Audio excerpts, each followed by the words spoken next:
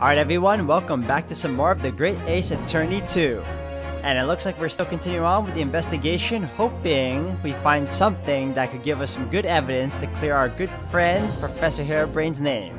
Although, that name is a bit, uh, odd too, but whatever, we're gonna go with it. And, well, if anything else, guys, we're gonna see how it goes.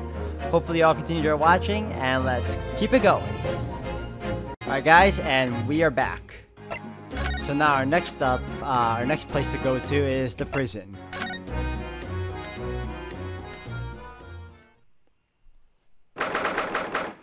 Twenty-third of October, local prison cell, eleven.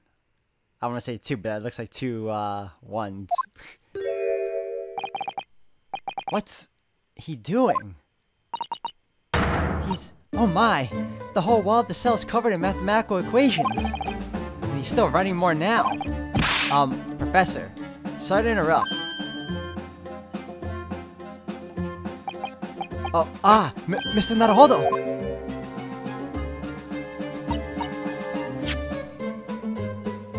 And who is this young lady? My name is Susato Mikotoba. I'm Mr. Naruhodo's judicial assistant. It's a pleasure to meet you, Professor.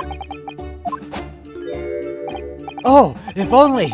If only I met a refined young woman like you sooner! None of this would have happened. No, no, that's not logical. That makes no sense at all. Oh dear. I'm I'm sorry if my presence here upsets you. I owe you an apology too, Professor. I didn't manage to deliver what I promised you I would in court this morning. Oh no no no no no no no no no no no no no no the whole thing. The whole miserable affair. It all happened because I've been such a complete and utter clot. Um, Professor Harebrayne. I speed through that again. Hold on. What have you been working on yourself? Oh, you, um, you mean that? Oh dear, how embarrassing. I, I was suddenly struck by an idea, you see, and I simply had to write down. The wall was all I had to hand. Oh, is it some new hypothesis? Something to surpass super high voltage instantaneous kinesis, maybe? Ah, no, actually. This is my autobiography. Your autobiography? How was I diddled and fiddled by Mr. Albert Harebrayne? I found I can represent my odd fortunes with only odd numbers in an ambitious set of simultaneous equations. Really? I'm gonna have to pay back all my loans I took for the kinesis machine, you see. So it's gonna be a new serial publication from next month, part one, and an odd birth, an odd upbringing. Can't beat the man's optimism, that's for sure. I see. Well, for now, would you mind if we talked a little more about the case? Oh, yes, yes, of course. I've been working through the numbers. I was diddled, I was fiddled, by the pair of them. By Asman, and by the aloof engineer Drebber. We're not gonna have to sit through an explanation of all these equations, are we? Alright, let's converse with the poor guy. Everything I believed in has been turned on its head. My research, Mr. Asmin, the kinesis machine, my hypothesis even. I'm sorry it's come to this. There was really no other way. No, it's not your fault. I wanted, I wanted to protect my work, but in the end, there was nothing worth protecting. It was never my intention to deceive anyone. I didn't want to trick the public. No, of course you didn't. But in court this morning, I realized something. Oh? You've done something wrong without knowing it, you've still done something wrong logically. It makes no difference if you were aware of it or not. Ignorance is a poor excuse. The blame still lies with me. Oh, Professor. He believed in me this morning, you know. Barok did. He believed in my hypothesis. Well, I think that was just a necessary factor in the prosecution establishing its case. No, no, Barok wouldn't do something like that. I'm sure he genuinely believed it. Did he? I think I understand now. Why it was that he decided to take on the prosecution in my trial, I mean. Ooh, Van Zieks' motivation. After the terrible accident happened, nobody would believe in my hypothesis anymore. Not the police, not the prosecution service, not any lawyers even. I feel like I dealt some kind of finishing blow there. So, if any other prosecutor had taken the case, if it was anyone other than Barok, I'm sure the prosecution would have declared my hypothesis a complete and utter nonsense. In that case, you would have been declared a fraud yourself, Professor. Exactly, which would have been a fate worse than death for me. But Barok insisted that I was a proper man of science from start to finish. You, you think that's why he... I know him very well indeed. He's an extremely kind-hearted soul. But that extremely kind-hearted soul spent all morning trying to paint you as a murderer, didn't he? Well, admittedly, that part of the analysis appears to have some flaws in it. And what about the whole Reaper side of things? How does that fit in with the kind-hearted soul idea?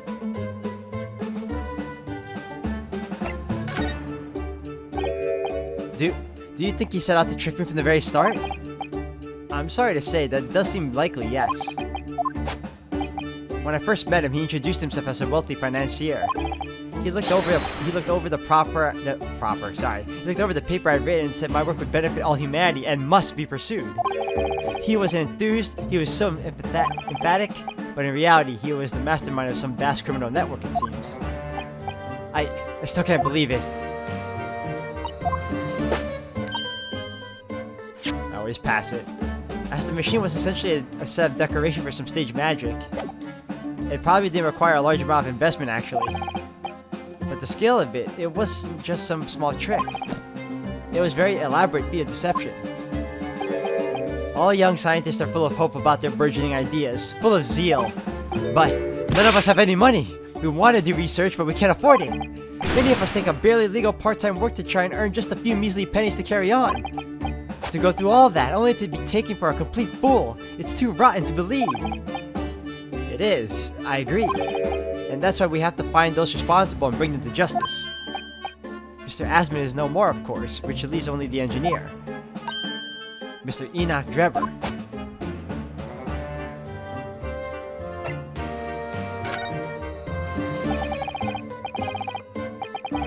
Is he an engineer, or a magician, or a swindler?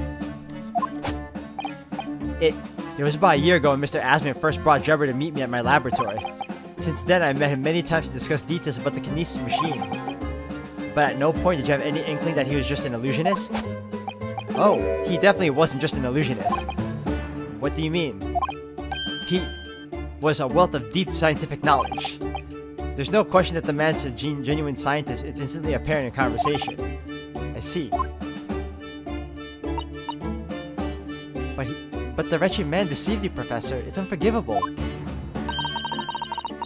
We must do everything we can to find him and bring him to justice. There are no more clues you can give us as to his whereabouts. I'm sorry, we only ever discussed the Kinesis machine, nothing else. Hmm. Although, just once. I did visit his workshop. What workshop? Drebber's enormous fabrication laboratory, where he constructed my great machine. Why? Why didn't you mention this before? Enoch Drebber's workshop. There's every chance we might find the man there.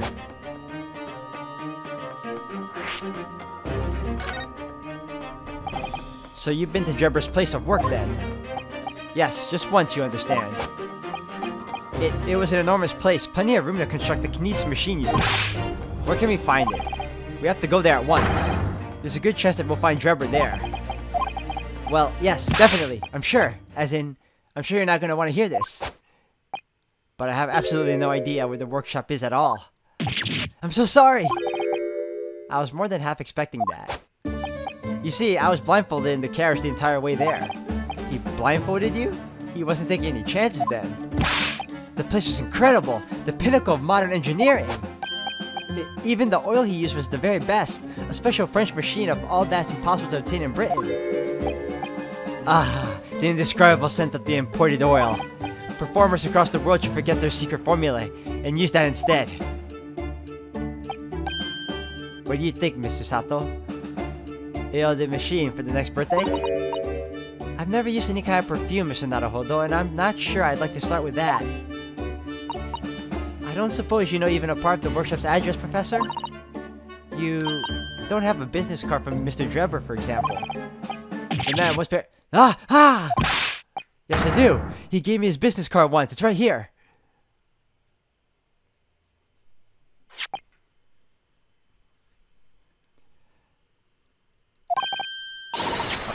Let me see that. Throw etiquette to the wind, why don't you?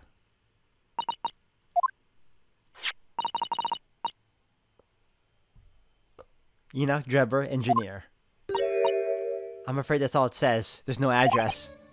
No. Oh well. I can't say I'm surprised. Still, this could be useful.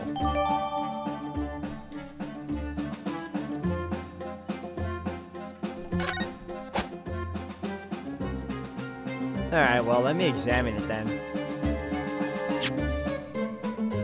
You may not know what happened, but I gotta check it for myself.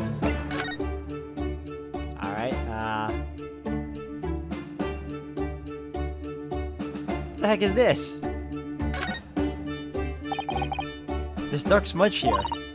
I think perhaps it's machine oil. Ah, yes, possibly. Professor Harebrained mentioned something about the oil Drebber uses, didn't he? He said it was specially imported very high quality oil that's impossible to obtain in Britain.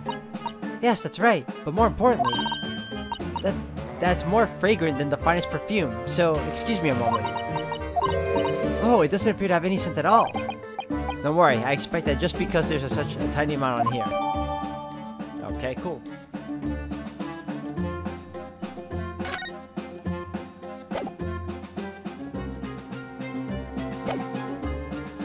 I think we should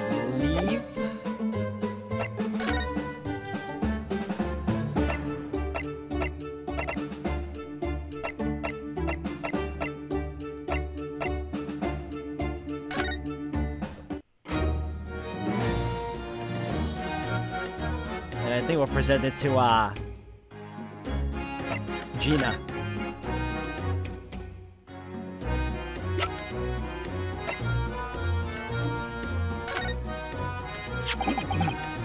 About this, Gina.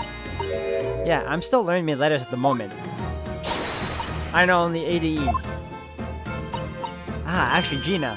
It's back at the card that's important. Let me see what she said that I missed out on. So if it ain't too much bleeding trouble, oh. Eh, yeah, I'll come.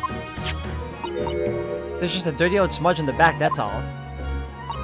It turns out that this very high quality French machine oil, it has a very particular scent apparently. You don't say. Let's have a whiff then. You sure? I don't smell nothing. No, no, we didn't mean that you should smell it. Oh, right. You mean Toby. Wow. His sense of smell so good he can track people over the oceans, can he? I keep doing that. Hold on. Professor Harebrained informs us that this oil is unique to Mr. Drebber's workshop. There you go. I think he's picked up a scent. So you mean if he follows the scent of this oil, Toby could lead us to the Dodgy Coast workshop? That's right. That's exactly what we're hoping. Alright, then we'll give it a go. I'll just borrow that. What? Wait, when did you... Once a pickpocket. If I can lead everyone to that Drebber's workshop, I'll be the boss's boss before next week. Sure, you'll be glad like you promised. Like you were promoted. Poor, poor Gregson.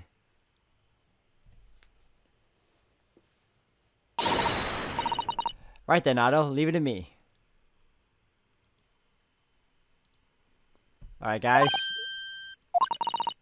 We're gonna get going after that Dodge Engineer Cove right this minute. Oh, but hang on. Someone's supposed to be on guard duty here all the time. I'm afraid we can't help. We need to get on with our investigation as well, Gina. Oh, right. Oh well, never mind. It ain't gonna be me what gets in neck. He'll be the boss. Poor, poor Gregson again. Ready, Toby? Got that OSN, have ya? Come on then. See you later. I do hope the scent of that oil leads into the swindler's workshop. Yes, I hope so too. Ideally before the dog swims across the channel to France. Well, I think we've done all the investigating we can here for now. If we could just determine the whereabouts of Mr. Dreb- wow, Drebber. I'm sure Gina and little Toby won't let us down. Now then, do you think we ought to try to speak with Mr. Sholmes at this point? We have things to discuss, and I'm dying to meet him again after all these months. Yes, it's quite possible he might know something useful. You're right.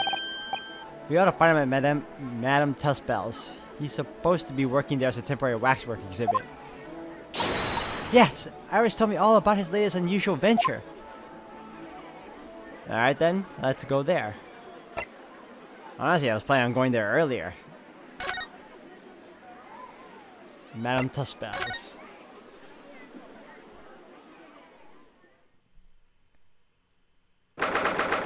23rd of October, Madame Tusspells' Museum of Waxworks. Oh my, no wonder it's called the House of Horrors. I'd like to turn on my heels and go straight home, via the confectionery. Being scared makes you crave sweets? I can understand that. But you know, there's something about the waxwork over there. It looks exactly like Mr. Sholmes down to the very last detail. Aha! What is it? Oh, sorry. I think you'll find... That's the temporary waxwork himself. Ah, the friend of my dedicated employee. Oh, yes, hello again. It's Ryunosuke. Ryunosuke Naruhodo. I must say, I am quite spellbound by the great detective. He is a marvel. My precious waxwork is already back where it belongs. You... You don't mean... But yes, the mystery is solved already. Wow, Mr. Sholmes can really engage his brain when he's hungry enough. So as you can see, he has returned to his habitual duties. Yes. His habitual duties? Allures. Do not disturb, huh?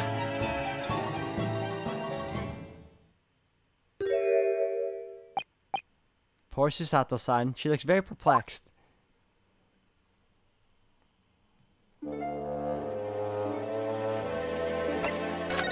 Alright, well, let's talk to him.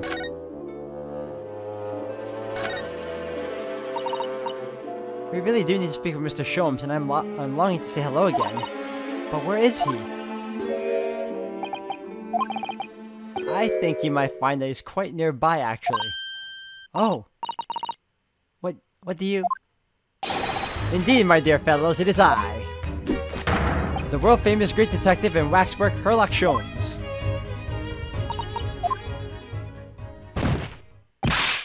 Susato-san! Susato-san! Nope, she fainted.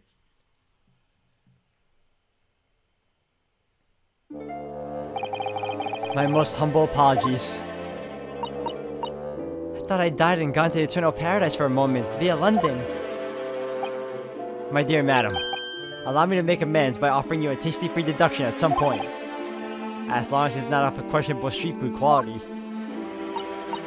I don't understand. Why are you working as waxwork here, Mr. Sholmes? Merely a secret identity, you understand, though the case is largely solved now. Largely solved? We're talking about the waxwork abduction, I presume. Indeed we are, my good fellow. As I predicted, it was as easy as proverbial pie. Though I confess I'm yet to partake of pie, proverbial or otherwise, or any food for far any food so far today for that matter. That stomach rumble echoed around the whole museum. How did you manage to solve it so quickly? Ah, well, do remember I said it was largely solved. Anyway, I simply negotiated with the culprit. Are you familiar with the so-called telephone? Oh yes, it's a most modern invention, allowing you to hold a conversation with people far away. In Japan, only the imperial capital and a handful of other cities are connected as yet. This morning, a telephone call was received here from the, per the perpetrator of the abduction. As such, I was able to negotiate terms, and in the end, the waxwork was returned. That's amazing! Just between you and I, it would appear that the culprit always intended to return to the stolen at any event. Oh, but I could... I thought whoever was responsible was the man at ransom, too. Sorry, no. Yes, I think perhaps. The ransom of the man was necessary to avoid unwanted suspicion regarding the true motive. But, does that not mean The negotiating was entirely unnecessary? A fact that I must ask you to keep from Madame Tusspells' at all costs. A hungry young Iris awaits my return to Baker Street after all.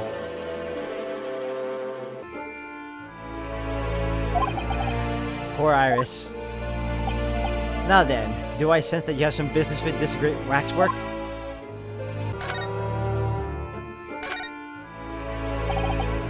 We're in the process of trying to track somebody down. Oh? Yes, a man by the name of Enoch Drebber. He's the swindler who duped Professor Harebrayne and the engineer who built the kinesis machine. Swindler and an engineer. Quite the modern man. He also seems to be a conjurer of sorts too, with considerable knowledge of stage magic. We really need to locate him before the trial resumes tomorrow morning. But we have so few clues to go on that that's the trouble. Do you have any good ideas? I have no data yet. It is a it is a capital mistake to have good ideas before one has data. If I knew something of the man's appearance at least, I may be a better position to help. Yes, River's appearance. Fortunately for you, however, presently I have little to occupy myself and little to fill my stomach. And as soon as you find any clue, no matter how small, I should gladly give you my thoughts on it. Hmm, okay.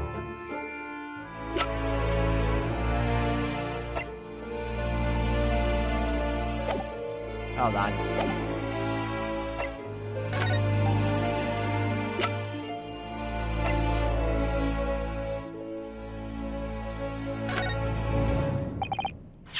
Mr. Sholmes, would you cast your eyes over this photographic print?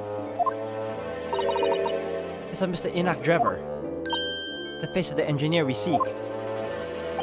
Well, all Englishmen look broadly the same, of course. So looking at the photograph won't be particularly instructive. Are you alright, Mr. Sholmes? Ah, yes, forgive me. Very interesting this. Very interesting indeed. What's wrong, Mr. Sholmes? You've quite you turned quite pale all of a sudden. Hmm.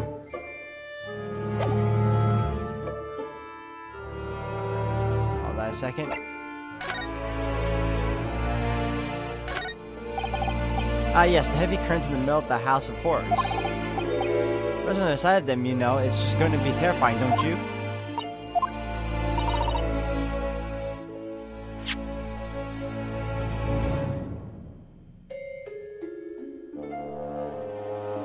The sign says it's Madame Tusspells' special exhibit. It seems you have to pay extra to go inside. I know! Can you believe that? Pay more money as if we haven't been scared enough already? It's not my doing, Mr. Naruhodo. Alright, second.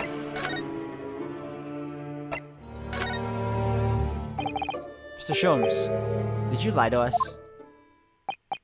My dear Mr. Naruhodo, stay that piercing stare. What is this about?